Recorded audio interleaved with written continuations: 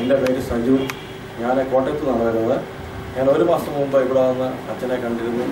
കണ്ടപ്പോൾ എന്നോട് നല്ലതായിട്ട് പ്രാർത്ഥിച്ച് കുടുംബസാരിച്ച് കുർബാന ആയിക്കൊള്ളാൻ പറഞ്ഞു. അതിനുശേഷം എനിക്ക് ധാരാളം കടബാധ്യതയും എന്റെ രണ്ട് വസ്തുക്കൾ വിൽക്കാനുണ്ടായിരുന്നത് വിൽക്കാതെ വർഷങ്ങളായിട്ട് വിൽക്കാൻ സാധിക്കാതെ കേസും പ്രശ്നം എനിക്ക് കേസ് പ്രശ്നങ്ങളെല്ലാം ഉണ്ട്. പോലീസ് എന്നെ തേടി നടക്കുകയാണ്. അപ്പോൾ അങ്ങനെയുള്ള സാഹചര്യത്തിൽ അച്ഛന്റെ അടുത്ത് ഞാൻ പ്രാർത്ഥിച്ചപ്പോൾ കുടുംബസാരിച്ച് കുർബാന അനുഭവിക്കാൻ പറഞ്ഞു. അതിനുശേഷം വീണ്ടും അച്ഛനെ കണ്ടു. അപ്പോൾ അച്ഛൻ പറഞ്ഞു ഏഴ് ദിവസം അടുപ്പിച്ച് ഇവിടെ വന്നിരുന്ന് മൂന്ന് മണിക്കൂർ വീതം പ്രാർത്ഥിക്കാൻ പറഞ്ഞു. അങ്ങനെ ഏഴ് ദിവസം ഞാൻ ഇവിടെ വന്നിരുന്ന് പ്രാർത്ഥിച്ചു. അത്യാവശ്യം ഒരു മാസം തികയുന്നതിന് മുമ്പ് കമ്പനിയും അഞ്ചേക്കർ നിലവും കച്ചവടമായി മൂന്ന് ലക്ഷം രൂപ അഡ്വാൻസ് കിട്ടി.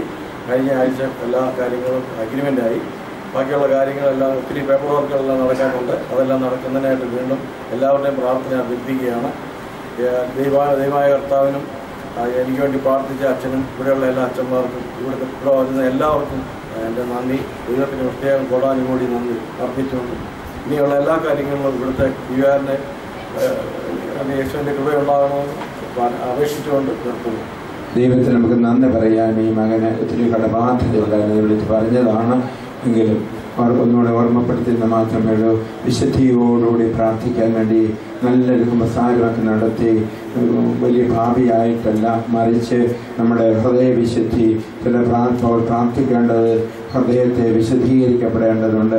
നന്നായിട്ട് കുമ്പസാരിച്ച് ഒരുക്കത്തോടെ കുമ്പസാരിച്ച് ഏഴ് ദിവസം മൂന്ന് മണിക്കൂർ വെച്ച് ഇവിടെ വന്ന് പ്രാർത്ഥിച്ചപ്പോൾ പല പ്രാവശ്യം പല പല ഏജന്റുമാരെ വിളിപ്പിച്ച് സ്ഥലം വിൽക്കാൻ നോക്കിയിട്ട് നടന്നില്ല. അങ്ങനെ മനസ്സിന് ഒരുപാട് നിരാശകളൊക്കെ ഉണ്ടായിരുന്നു.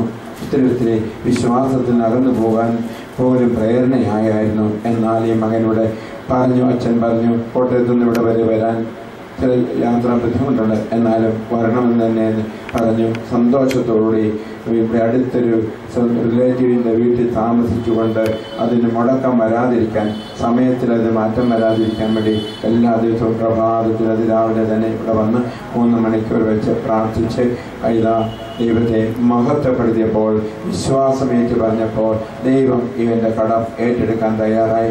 അസുഖപ്പെടുവാനും ആ ദുരന്തത്തിൽ നിന്ന് രക്ഷപ്പെടാനായിട്ട് സാധിച്ചു.